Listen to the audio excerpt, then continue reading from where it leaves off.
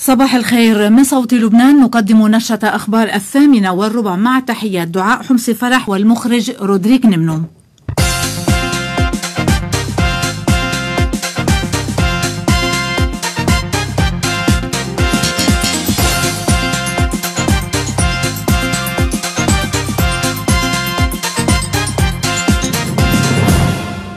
عناوين النشرة. التعميم 151 ساري المفعول والدعم مقيد وأموال المودعين تحت اختبار إعادتها وسلامة قريبا في تعميم رح نبلش نرجع الأموال. الكهرباء أمام أزمة التعتيم والمحكمة الدولية تتوقف عن العمل أمام أزمة التمويل. جمود حكومي تخرقه بيانات واتصالات من دون بركة. بيطار يرجح فرضيتين في تفجير المرفأ. إسرائيل تعلن عن إحباط عملية تهريب على الحدود الجنوبية مع لبنان.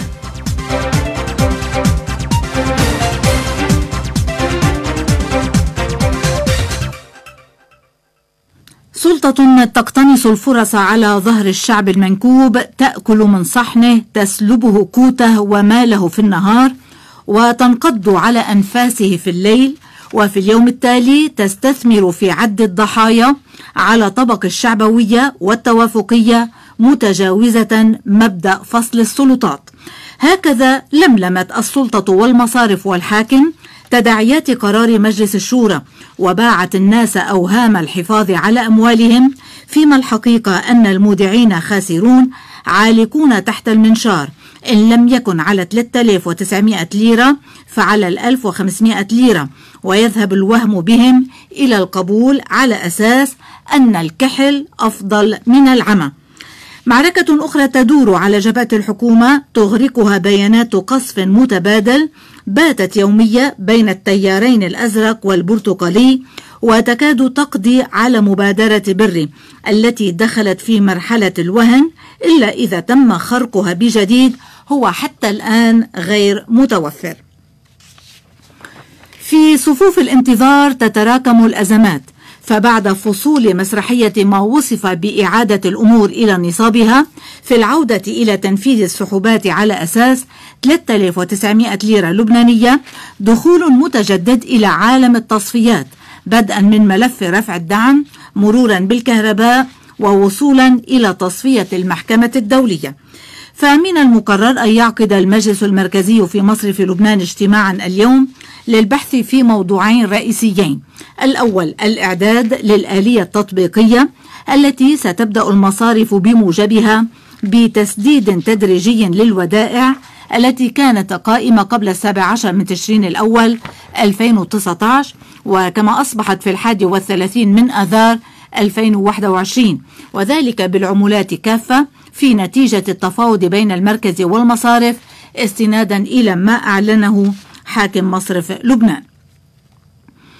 والثاني مستلزمات ملف الدعم الذي جرى بحثه في اجتماع مالي عقد في بعبدة وحضره سلامي وجرى في خلاله البحث في تأمين تمويل المواد الأساسية المدعومة بالعملة الأجنبية. وأجرى الرئيس عون خلاله اتصالا هاتفيا برئيس حكومة تصريف الأعمال حسان دياب ووزير المالية غازي وزني. وأفادت المعلومات أن سلامي أبلغ المجتمعين أن أموال الدعم قد نفدت ولا يمكن للمجلس المركزي الموافقة على مزيد من طلبات فتح الاعتمادات مع إعادة تأكيد موقف المجلس المركزي الرافض للمس بالإحتياطي الإلزامي لتمويل الدعم فهذه الأموال هي أمانة للمودعين وأي تصرف بها يجب أن يكون من خلال إعادتها لهم. أبرز الاعتمادات المتوقفة عائدة لمؤسسة كهرباء لبنان وهي أربعة تطلب فتح اعتمادات لأربعة بواخر بقيمة إجمالية تقارب 62 مليون دولار وسبق لوزير المالية أن وقع عليها وتم حصر الموافقات بفتح اعتماد واحد. وعليه سارعت مؤسسة كهرباء لبنان لتحذر من أزمة تعتيم كامل تقريبا. وأشارت المؤسسة إلى أنها ستقوم برفع قدرة معمل الذوق الحراري القديم وتخفيض قدرة المعامل الأخرى كافة بسبب النقص في مادتي الفيول أويل والغاز أويل. وقالت إن إجمالية الطاقة المنتجة على الشبكة حاليا هي بحدود 720 ميجاوات بعدما جرى تخفيضها تدريجيا خلال الأسابيع الماضية. علما أن طلبات الدعم للسلة الغذائية أو الدواء أو فتح أي اعتماد جديد لها متوقف بانتظار ما ستقرره الحكومة لناحية آلية الدعم. في هذا الوقت تعاود المصارف تطبيق تعميم مصرف لبنان الرقم 151 واعتماد سعر 3900 ليرة لسحوبات الودائع الدولارية في ترجمة لنتائج اجتماع بعبد القضائي والمالي الذي انعقد برئاسة رئيس الجمهورية وحضور حاكم المركزي رياض سليمي ورئيس مجلس شورى الدولة القاضي فادي الياس. وحدد سليم التوجهات للمرحلة المقبلة مؤكدا أن مصرف لبنان ليس مفلسا. اعتبار التعميم رقم 151 الصادر عن مصرف لبنان اعتباره إنه ما زال سارع المفعول وستعمل المصارف بموجبه. كما إنه أكدنا التعاون الكامل وضرورة التعاون أيضا بين مصرف لبنان ومجلس شورى الدولي لما فيه مصلحة لبنان وكل التعاطي هو بهالإطار هيدا. لماذا لا يعلن إفلاس مصرف لبنان بكل بساطة؟ لأنه منه مفلس مصريات الناس بالبنوك مش بمصرف والبنوك بيقولوا إنه مصريات الناس عندك. هيك بيقولوا. أيه. بس كمان في عندهم مصاري مع الدولة ما هيك؟ كمان في عندهم مصاري مدينينها للقطاع الخاص ما هيك؟ كمان عندهم أموال خاصة محطوطة بالخارج ما هيك؟ طيب. راحت ودايع الناس؟ لا ما راحت. وقريبا في تعميم رح نبلش نرجع الأموال. وفي شريط التداعيات أيضا قرار للمحكمة الدولية الخاصة بلبنان بالتوقف عن العمل بسبب التمويل. وأعلن المتحدث باسم الأمين العام للأمم المتحدة ستيفان دوجاريك تعليق المحكمة الدولية الخاصة بلبنان جميع القرارات المتعلقة بالقضايا المعروضة عليها حاليا وأي قضايا مستقبلية حتى إشعار آخر. وذلك بسبب الوضع المالي الصعب الذي تواجهه المحكمة حاليا. وأعرب دوجاريك عن قلق الأمم المتحدة الشديد وقال منذ فترة طويلة ونحن نتحدث بصوت عال من خلال مجموعة الدعم الدولية عن نقص التقدم السياسي وعن عدم تشكيل حكومة وعن غياب الإصلاحات الضرورية. هل من أزمة جديدة مع السعودية بعد الفاصل؟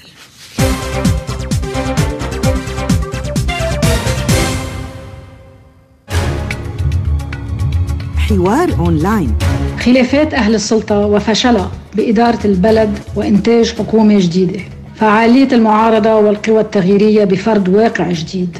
الانهيارات المالية والاقتصادية والاجتماعية وإمكانية الخروج منها. مواضيع وعناوين رح نناقشها معكم ضمن برنامج حوار أونلاين. أنا تريسي شمعون. حوار أونلاين مع جورج العليي الجمعة بعد نشرة أخبار الخامسة والربع عبر صوت لبنان.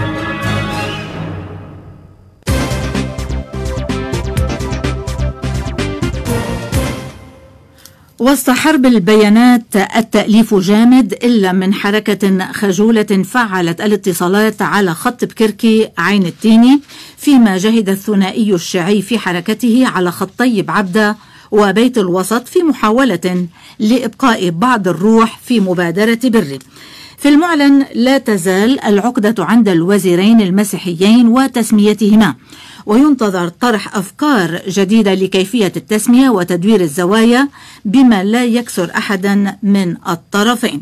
رئيس الجمهورية ميشيل عون أكد أنه قدم كل التسهيلات اللازمة لتأليف الحكومة لكن الرئيس المكلف لم يراعي مبدأ الشراكة الوطنية. التيار الوطني الحر لفت أيضا إلى وجود حملة افتراءات مبرمجة ضد النائب جبران باسيل تحمله مسؤولية العرقلة الحاصلة وتفشيل مبادرة بري وأكد أن التيار المستقبل أصر على السلبية والشتيمة والمس بالكرامات وبمقام رئاسة الجمهورية على الرغم من المرونة الكاملة التي أبداها باسيل خلال اجتماعه مع ممثلي مع ممثلي حزب الله وحركة أمل فيما خص الحقائب. مشيرا إلى أن رئيس التيار الحر اقترح أفكارا عدة لاختيار وزيرين لا ينتميان إلى أحد سياسيا وغير محسوبين إلا على صفة الاختصاص مع التأكيد على حكومة لا يملك فيها أي طرف الثلث زائدا واحدا والتذكير بعدم التسليم بصيغة ثلاثة تمانات التي لم يتبناها أحد رسميا لأنها غطاء مقنع للمثالثة المرفوضة. حول هذا الموضوع تنضم إلينا عضو كتلة المستقبل النائبة رولا الطبش. صباح الخير. صباح الخير لك مدام دعاء وللمستمعين الكرام. اليوم يعني صار في أكثر من أسبوع ومضى على مبادرة رئيس مجلس النواب نبيه بري. هل يمكن القول أن هذه المبادرة اليوم متوقفة أم ثمة حوافز جديدة ستنطلق منها؟ خصوصا بالنسبة لتسمية الوزيرين المسيحيين. يعني مبادرة الرئيس بري فينا نقول آه، يعني غير متوقفة وبنفس الوقت من آه، يعني ساري بالشكل المطلوب. آه، للأسف يعني ما زلنا لا تألو الحكومة والفراغ يراوح. نتمنى يعني أن تلقى مبادرة الرئيس بري حلحلة ولكن يعني بنشوف من كل المعطيات اللي حولنا بأنه العرقله ما زالت يعني سائدة وال والشخصنة في آه طريقة يعني التعامل في تأليف الحكومة هو المسيطر طيب. يعني أصبح للجميع معرفة بأنه التيار آه، الوطني الحر آه، لا يريد آه، الرئيس الحريري رئيسا للحكومة رغم بياناته التي تبين بأنه هو المسالم ودائما وهم يريدون رئيس الحريري ويريدون الوفاق للبنان ولكن الواقع الحقيقي اليوم لا. آه هيدا الشيء آه منه آه صحيح. وهو آه اللي آه ما زال يعرقل آه تأليف الحكومة ويعرقل أي مبادرة مطروحة للحل. قدام هيدا الواقع الخيارات أمام الرئيس المكلف البعض يعتبر أن اعتذار الحريري أصبح مسألة وقت. يعني أولوية الرئيس الحريري اليوم هي تاليف حكومة. لأنه إذا بننظر نحن هالسبعة أشهر تأخير قديش راح على اللبنانيه لو كنا نحن من سبعة أشهر ألفنا حكومة كنا قدرنا تقدمنا خطوة نحو آه، التفاوض مع ال IMF كنا قدرنا آه، آه، خطوة حول يعني خطة اقتصادية لترشيد الدعم. ما كنا قدرنا وصلنا لليوم إنه ما عندنا كهرباء هالدولار كل ماله عم بيعلي الناس واقفة على ال ATM ولا على البنزين ولا على هيدا كان هاجس الرئيس الحريري. خلينا ننظر اليوم قديش نحن كل يوم هالتاخير عم بيوصلنا. هيدا اليوم هاجس الرئيس الحريري وهيدي هي أولوية الرئيس الحريري. أما آه، طرح الاعتكاف أو الاعتذار أو الاستقاله من مجلس النواب طبعا هذا كله وارد. لما بنوصل لحيط مسدود ولما الشعب اللبناني اليوم آه يعني آه يعني بالنهاية آه مصالحه راحت وكرامته اليوم نعم. بالحياة المعيشية كذلك طارت. طيب كلها واردة إنما الوقت المناسب. بعد ما حق. البعض بيعتبر أنه استقالة نواب كتلة المستقبل مناورة خصوصا أنها تربط باستقالات من أفرقاء آخرين هل هذا صحيح؟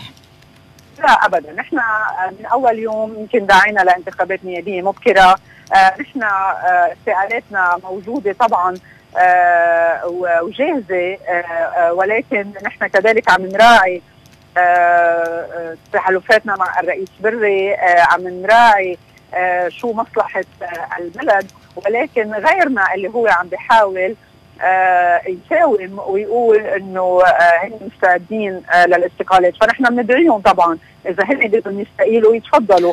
يا ريت بيستقيلوا اليوم وبيستقيل معهم كذلك يعني رئيس الجمهورية ونقصر كل الولايات ونروح لانتخابات جديدة تنقذ هذا البلد. طيب. نحن ما عم نساوم أبدا ولكن بالوقت المناسب آه، نحن أكيد جاهزين. البعض كمان اليوم في حديث لأحد القياديين في الثنائي الشيعي يلوح بالمؤتمر التأسيسي في حال تم فرض آه، آه، استقالات جماعية بمجلس النواب، هل المستقبل مستعد لمواجهة من هذا النوع؟ يعني هذا هذا أمر لم نناقشه طبعا بعد و يعني بتشك على أي أسس وما هو هذا المؤتمر التأسيسي ولوين بده ياخذنا فطبعا نحن حسب يعني آه، المعطيات شو رح تبين رح يكون لنا أكيد موقف من هذا الموضوع. هل حكومة الأقطاب التي آه، طرحها البطريرك الراعي مقبولة حريريا؟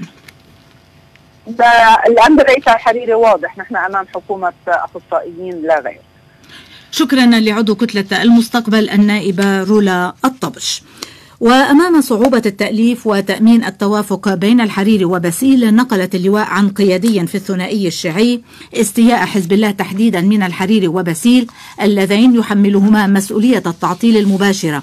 ولوح باستعداد الثنائي الشيعي للرد على أي استقالات جماعية من المجلس النيابي بأن يكون ثمنها الذهاب نحو مؤتمر تأسيسي شامل. فرضيتان يرجحهما المحقق العدلي في جريمة تفجير مرفأ بيروت مجد العنعيد والتفاصيل.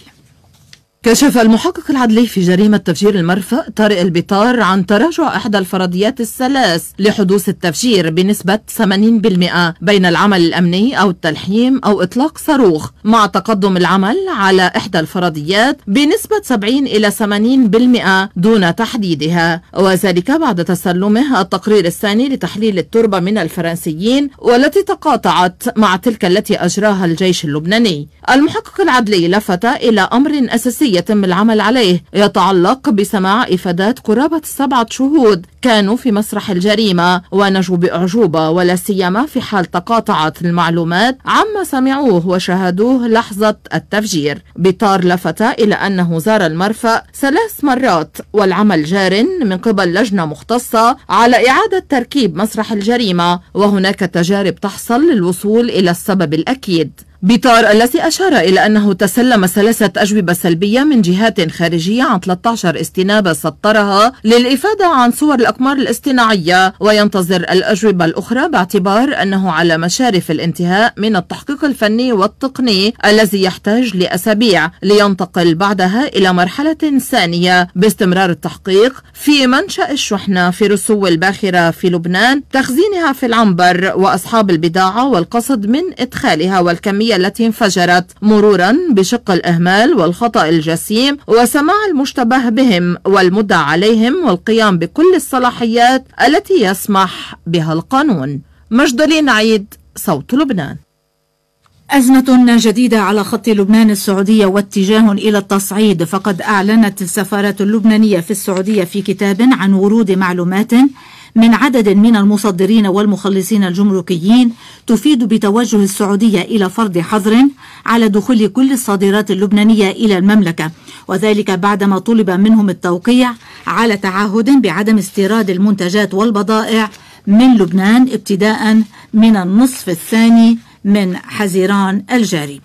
وكان وزير الداخلية في حكومة تصريف الأعمال محمد فهمي وصف الاتصال مع وزير الدفاع السعودي لمعالجة قضية التهريب بعد شاحنة الرمان الملأ بالمخدرات بأنه كان إيجابيا واصفا الموقف السعودي بالأمني وليس بالسياسي. وكشف في حديث إلى الام تي في أنه تم التجاوب مع مطلب إدخال البضائع المشحونة إلى السعودية.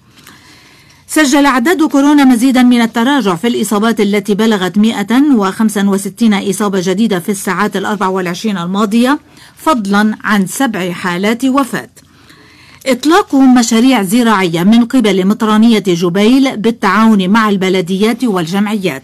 جوزيفين أبي غصن والتفاصيل. أعلن راعي أبرشية جبيل المارونية المطران ميشيل عون عن سلسلة مشاريع زراعية ستبصر النور في الأبرشية دعما للعائلات في ظل الأزمة التي يتخبط بها لبنان. كلام المطران عون جاء في خلال إطلاق مبادرة نذكر ونشكر الزراعية في وطلبان من قبل بلدية بلاط وجمعية هدفنا بحضور نواب المنطقة والقائم مقام ونائب رئيس حزب الكتائب الدكتور سليم الصايغ. أنا أنشأت بالأبرشية لجنة زراعية. قوامة مهندسين زراعيين أكفاء عندهم خبرتهم بهالمجال. مع مساح توبوغراف. لحتى نكون عم نحصي كل أراضي الأبرشية المتعلقة بالمطرانية والمتعلقة بالأوقاف العامة والخاصة. ونقدر نكون عم بتصفي ممكننة يعني موجودة على الكمبيوتر ونقدر نعرف من كل هالأراضي أي أراضي هي ممكن تكون للزراعة أيها ممكن تكون للسكن أيها ممكن تكون غابات بكل المجالات. محافظ جبل لبنان القاضي محمد المكاوي أسف لما آلت إليه الأوضاع في لبنان. لبنان هو اللي مثلنا عم بيعاني من الفساد ولبنان هو أيضا عم بيعاني من عدم احترام القانون ولبنان هو أيضا عم بيعاني من قله الأخلاق اللي صرنا كلنا عم نعاني منها. لبنان أيضا هو عم بيسألنا شو عملنا؟ مين اللي ارتكب الجرائم بالبيئة؟ مين اللي ارتكب كل هيدي الأحقاد؟ ومين اللي هو اللي عم بيطلع بكلام مليء بالحقد؟ من اللبناني تجاه أخيه اللبناني في ظل هذه الظروف وهذا الألم اللي كلنا وعيالنا عم نتألم فيه. هذا وكانت كلمة لرئيس بلدية بلاط عبد العتيق أكد فيها أن حوالي الخمسين عائلة ستستفيد من هذا المشروع الزراعي. من جبيل جوزيفين أبي غصن إذاعة صوت لبنان. جنوبا أعلن الجيش الإسرائيلي أنه أحبط محاولة لتهريب أسلحة ومخدرات عبر الحدود اللبنانية مساء أمس موضحا أن القوات الإسرائيلية أوقفت عددا من المشتبه فيهم في القطاع الغربي من الحدود وهم ينقلون حقائب من داخل لبنان إلى إسرائيل. وصادرت القوات الإسرائيلية 15 مسدسا و36 كيلوغراما من الحشيش وعشرات صناديق الذخيرة بقيمة نحو مليوني شاقل.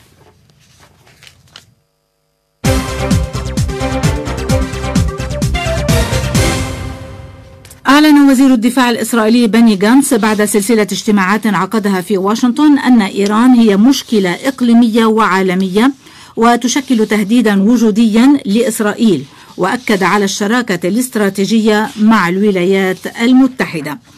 وفي هذا الوقت قدم السيناتور الديمقراطي ورئيس لجنة العلاقات الخارجية بوب مندنيز والسيناتور الجمهوري لينسي جراهام خطة بديلة عن الاتفاق النووي. وحذرا من أن الصفقة النووية قد تم كسرها ولم تعد صالحة واقترحا إنشاء بنك إقليمي للوقود النووي يتم مراقبته من الأمم المتحدة ووكالة الطاقة الذرية يسمح للدول التي تريد الحصول على طاقة نووية سلمية بالاستفادة منه. واعتبرا أن الصفقة النووية تتجاهل سلوك إيران الخبيث في المنطقة ودعمها لحزب الله والحوثيين في اليمن. جدد مجلس الأمن الدولي الدعوة للحوثيين بالسماح بالوصول غير المشروط إلى الناقلة صافر. وقد حذرت منظمة جرين بيس من احتمال وقوع انفجار في ناقلة نفط متهالكة قبالة اليمن في أي لحظة ودعت الأمم المتحدة إلى تحرك عاجل. ختام النشرة مع الأحوال الجوية.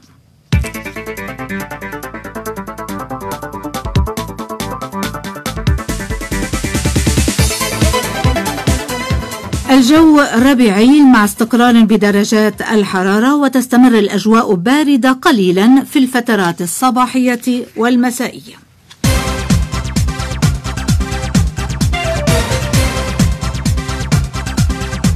كان في هذه النشرة التعميم 151 ساري المفعول والدعم مقيد وأموال المودعين تحت اختبار إعادتها وسلامه. قريبا في تعميم رح نبلش نرجع الأموال. الكهرباء أمام أزمة التعتيم والمحكمة الدولية تتوقف عن العمل أمام أزمة التمويل. جهود حكومية تخرقه بيانات واتصالات من دون بركة. بيطار يرجح فرضيتين في تفجير المرفأ. إسرائيل تعلن عن إحباط عملية تهريب على الحدود الجنوبية مع لبنان. بهذا نأتي إلى ختام نشرة الأخبار. قدمناها من صوت لبنان.